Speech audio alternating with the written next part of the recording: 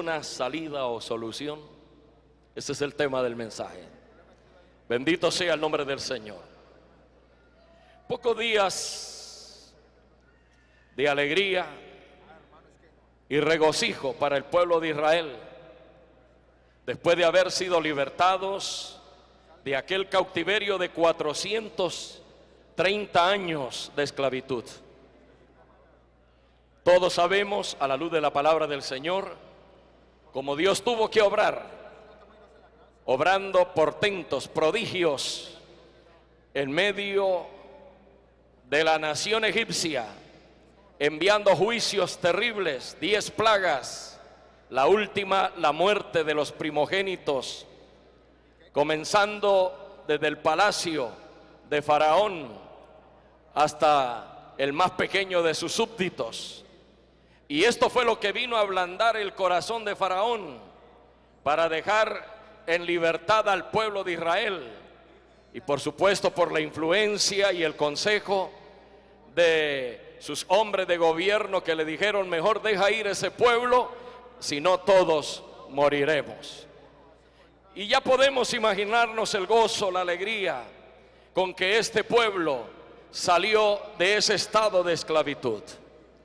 Pero ese gozo, esa alegría, repentinamente se torna en angustia, en prueba y en dolor, en un callejón sin salida.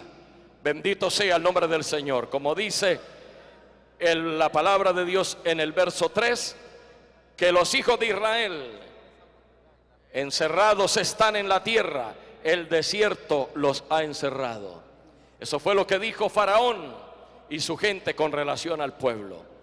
Muchas veces nos vemos en un callejón sin salida, ya sea en el área espiritual, física, psicológica, material o financieramente.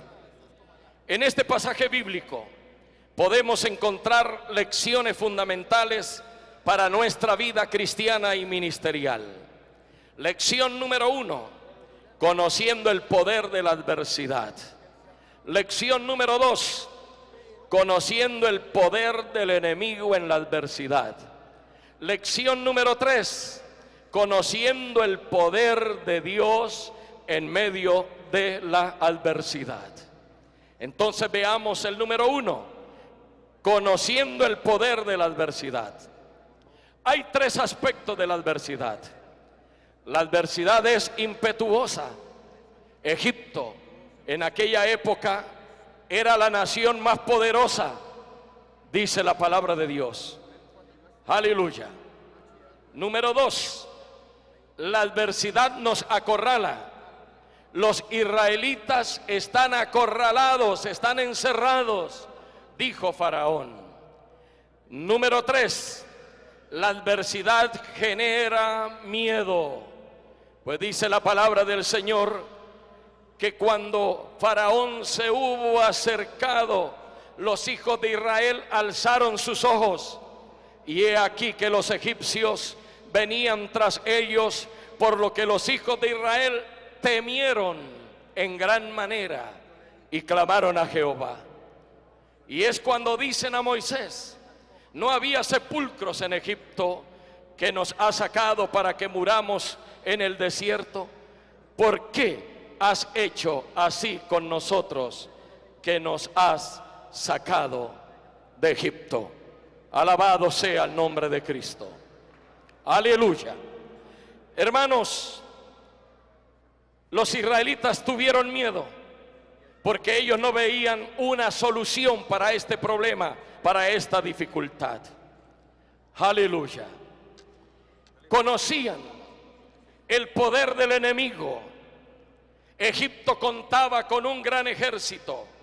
Como ya hemos visto, Faraón preparó 600 carros escogidos. Comparado con los ejércitos en la actualidad, sería los tanques de guerra de un ejército. 600 carros de guerra. Pero dice la palabra del Señor que él tenía también una caballería escogida, tenía una infantería escogida. el mejor ejército del mundo en aquel tiempo. Entonces, el pueblo de Israel conocían el poder del enemigo. Ellos habían estado bajo el flagelo de los egipcios durante todos aquellos años. Sabían que cuando ellos habían querido librarse de aquel flagelo, se había aumentado las cargas sobre ellos. Se les había afligido aún en mayor grado. Entonces, sabían que humanamente este problema no tenía solución. ¿Qué hacer cuando no hay una salida? Allí nos señala la palabra de Dios que los hijos de Israel clamaron al Señor. En primer lugar se debe clamar al Señor. ¿Cuánto damos gloria al nombre de Cristo? En el libro de los Salmos dice el Señor, invócame en el día de la angustia, te libraré y tú me honrarás. Clama a mí y yo te responderé. ¿Cuánto damos gloria al nombre del Señor? Yo sé que todos como cristianos y como siervos y siervas del Señor hemos experimentado en nuestra propia vida lo que son estas promesas de la palabra de Dios. Aleluya. Número dos, ¿qué hacer cuando no se ve una salida, una solución? Se debe controlar el miedo. ¿Cuánto damos gloria al nombre del Señor? Aleluya. Los hijos de Israel temieron. Bendito sea el nombre del Señor. Cuando el miedo escapa a nuestro control, se torna en pánico. La persona se olvida de lo que debe hacer, de lo que sabe hacer. Aleluya.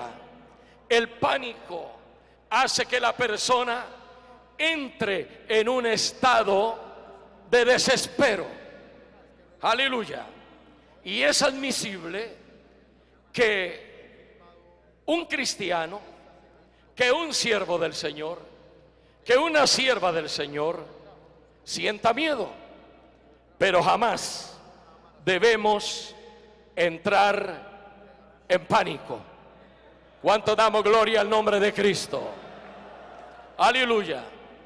Número tres no debemos precipitarnos. El cristiano y el obrero del Señor tenemos que estar tranquilos. Moisés, ante esta angustia, ante esta desesperación del pueblo de Israel, le dijo al pueblo, no temáis, estad firmes y ve la salvación que Jehová hará hoy con vosotros. Porque los egipcios que hoy habéis visto, nunca más para siempre lo veréis. Versículo 13. Gloria al Señor. No temáis y estad que firmes. Alabado sea el nombre de Cristo. Número 4. Se debe creer que Dios tiene la solución, que Dios tiene una salida. No hay problema por difícil que sea para el cual Dios no tenga la solución. Alabado sea el nombre del Señor. En el verso 14, Moisés le dice al pueblo de Israel, Jehová peleará por vosotros y vosotros estaréis tranquilos. ¿Cuántos creemos que el Señor pelea por nosotros? Aleluya. Esa es la gran equivocación del enemigo muchas veces. Que ven al hombre, ven la mujer, bendito sea el nombre del Señor, que es objeto, bendito, de, de ataque, pero no ven que detrás de él, detrás de ella, aleluya, hay uno que es más poderoso que el que está en el mundo.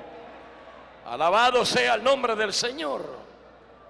Cuando los ejércitos de Israel y los filisteos entraron en confrontación, dice la palabra de Dios que durante 40 días